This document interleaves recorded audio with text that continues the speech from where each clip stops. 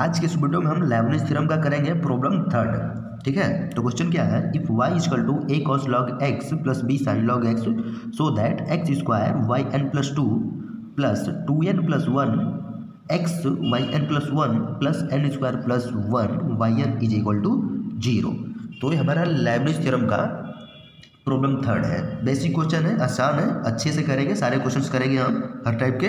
तो वीडियो को लास्ट तक देखना। ठीक है? चलो इसको स्टार्ट करते हैं फिर। Solution given given y is equal to a cos log x plus b sin log x अच्छा प्रूव करना है हमें। X square y n plus two तो क्वेश्चन से हमें थोड़ा सा एक चीज़ समझ में आ रहा है कि पहले वाई हमारा दिया हुआ है तो एनथ डेरिवेटिव डायरेक्ट हम यहाँ पे अप्लाई नहीं करेंगे। पहले सेकेंड ऑर्डर तक की डेरिवेटिव निकालेंगे देन हम एनथ डेरिवेटिव अप्लाई करेंगे। मतलब लाइबनिज थियरम सेकेंड ऑर्डर की डेरिवेटिव तक निकालने के बाद अप्लाई करना है, ठीक है? क्योंकि प्रूफ में हमें दिया है कि यही प्रूफ करना है x square into y n plus two y n plus one तो इसको हमें देखना है, ठीक है? मैक्सिमम क्वेश्चन में ऐसा ही होता है तो हमें थोड़ा ध्यान रखना है इस बात का कि मतलब पहले ही चेक करना है कि कब लेबनिज थ्योरम किस स्टेप पे अप्लाई करना है। कहीं कहीं हमारा मतलब जैसे x y n plus one तक ही अप्लाई करना होगा तो वहाँ हम फ़र्स्ट डेरिवेटिव निकालेंगे देन लेबनिज थ्योरम अप्लाई करेंगे। ठीक है? तो यहाँ पे सेकेंड ऑर्डर तक ही डेरिवेटिव हम निकालते हैं। तो वाई वन यहाँ पर क्या होगा? Y one cos log x का होगा माइनस साइन लॉग एक्स तो minus a sin log x and log x का होता है एक्स के रिस्पेक्ट में वन बाई एक्स तो ए बाई एक्स इसको लिख लेते हैं हम। Plus b sin log x का होगा cos log x log x का तो यहाँ पे एक्स लिखते हैं। एक्स यहाँ से कॉमन लेके इधर मल्टीप्लाई कर लेते हैं तो ये हो जाएगा x y one is equal to minus a sin log x plus b cos log x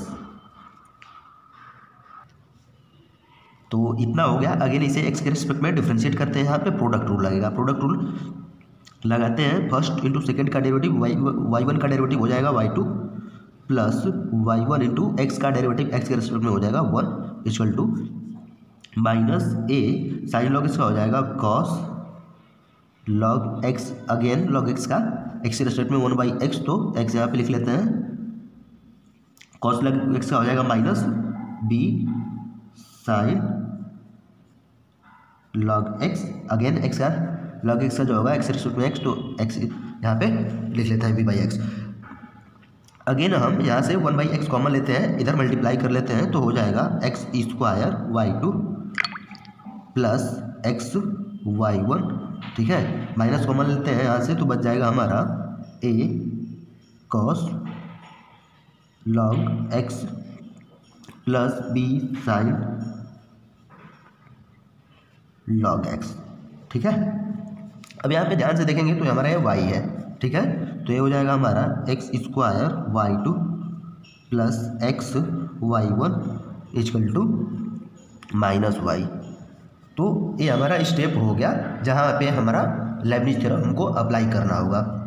जैसा कि क्वेश्चन में ही दिया हुआ था एन प्लस टू तो सेकेंड डेरिवेटिव तब हम निकाल लिए, अब यहाँ पे हम आसानी से लेबनिज थ्योरम अप्लाई करेंगे और आगे क्वेश्चन को प्रोसीड करेंगे, ठीक है? तो यहाँ पे लेबनिज थ्योरम अप्लाई करते हैं हम। तो चलो अब लेबनिज थ्योरम अप्लाई करते हैं। लेबनिज थ्योरम क्या होता है?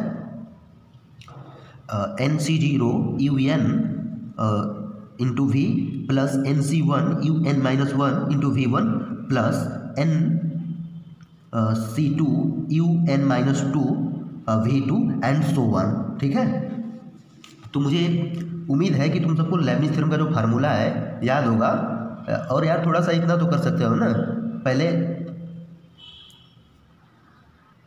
तो पहले लेबनिज थ्योरम का जो फार्मूला है, उसके एक बार अच्छे से मतलब कॉपी पे लिख के प्रैक्टिस करो मेमोराइज कर लो एक बार। ठीक है? क्योंकि एग्ज़ाम में तो भाई क्वेश्चन आना ही है, करना ही है तो इसे याद करने में ही भलाई है। तो लेबनिज थ्योरम अप्लाई करने के बाद हो जाएगा y n plus two n plus two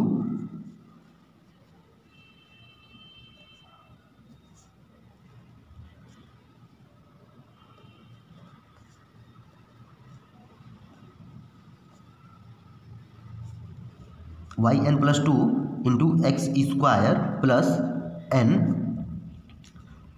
y n plus one ठीक है?